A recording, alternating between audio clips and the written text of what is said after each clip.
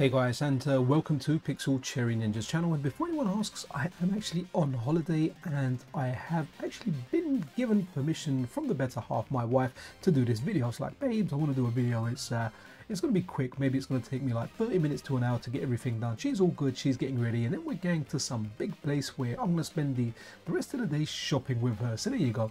Anyway guys the Game Bub if you remember we featured this on the channel previously that's my video where we were asking you guys for feedback on what you think, what you would like and what your likes and dislikes are. So what's really cool is you'll notice that in this video we have got a Game Bub and it's a portrait mode uh, Game Bub, right? So this is a Game Boy inspired FPGA device that will run your Game Boy, your Game Boy Color and your Game Boy Advance stuff. So a lot of the feedback was, and feedback from myself as well, was we want a landscape shaped one right we have the analog pocket which is like our little fpga game boy uh, we've got the fpga game boy color itself then we've got the mod retro chromatic we really want a landscape one and given the fact that the game bub actually plays game boy advance as well so game boy advance game boy color and the game boy dmg a landscape design is what we want. So eli the main developer behind this has gone taken that advice on board and they have actually created that. So going so right the crowd supply page is live. So crowd, crowdsupply.com i'll leave a link to this campaign in the description of the video. If you want to back this you can. And the great thing is it's open source and design files are available. So if you actually wanted to make this yourself and you had the technical know-how you could actually do that. But hey it might cost you too much doing it that way. And there's a crowdfunding campaign which which has gone really really well actually. We'll have a look at that as well. So I'm not going to read through all of this. I've got an abridged version in an article that I wrote on Metal Game Solid and we'll have a look at that.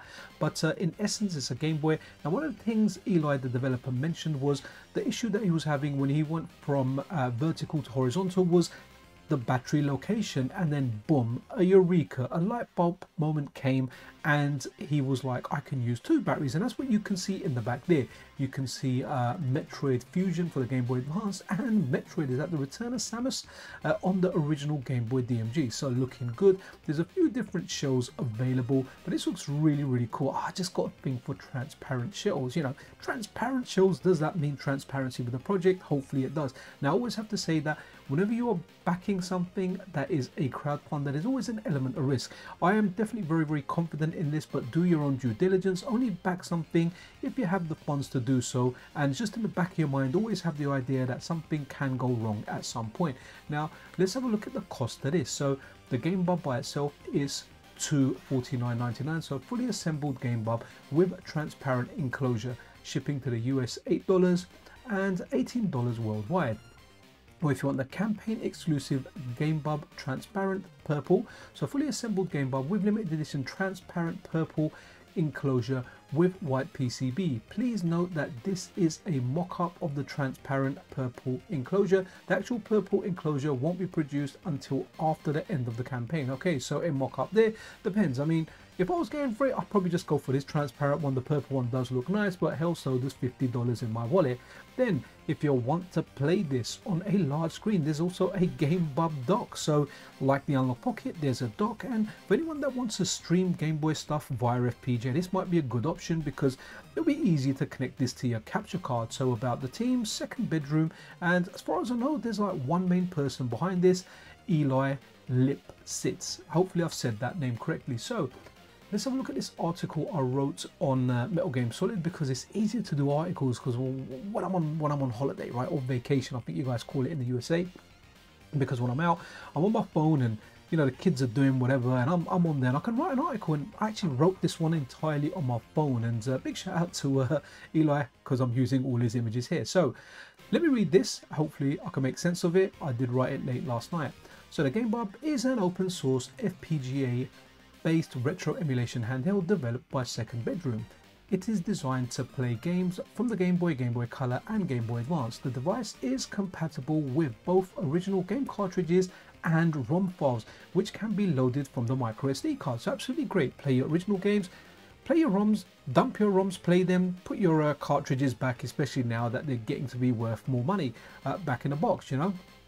Uh, the handheld includes several key features for an enhanced gaming experience. ISIC is equipped with a backlit IPS screen, stereo speakers, and a rechargeable USB Type-C battery that provides over 15 hours of battery life.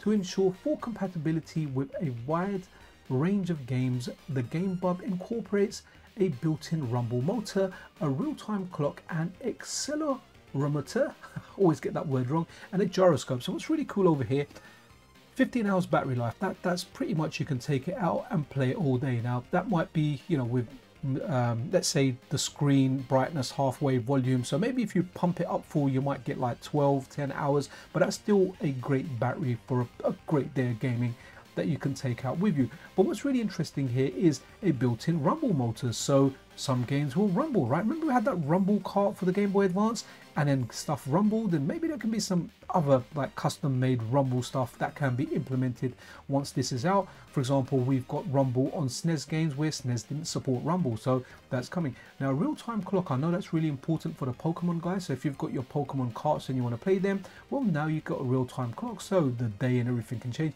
It's not something i've used. I kind of really started really really proper playing pokemon as bad as it sounds on the 3ds uh, an accelerator and a gyroscope. So like with the gyroscope now, I think was it Wario, WarioWare Twisted, right? So, you know, you can use that stuff there to get that kind of movement.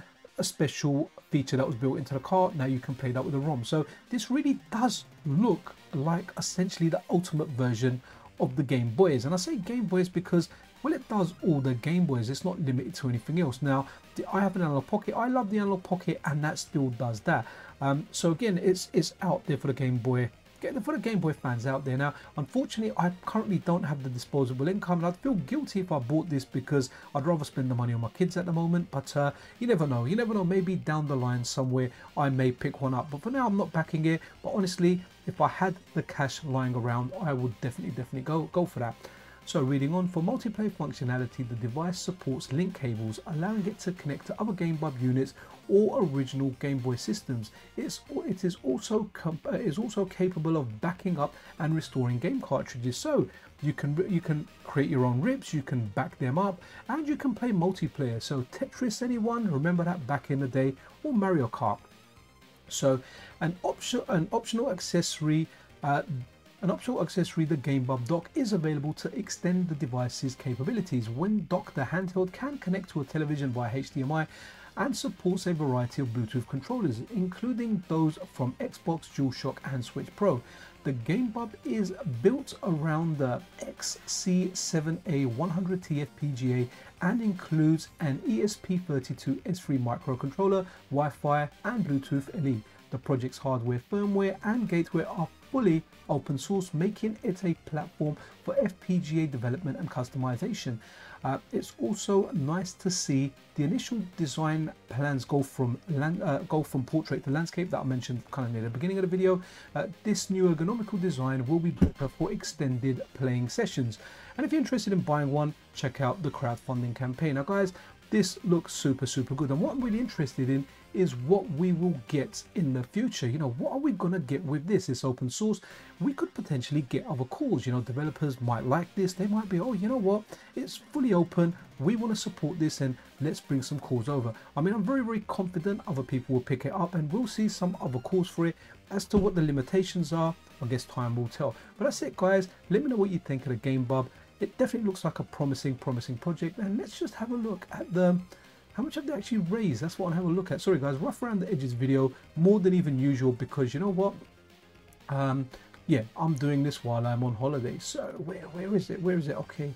I definitely saw it. I saw I was looking at this on my mobile and they've they've achieved oh here we go, right here, right. So uh, 10,795 raid. Let's, let's hit refresh and see if anyone has backed this. They've got 32 backers so far, and that's just one day.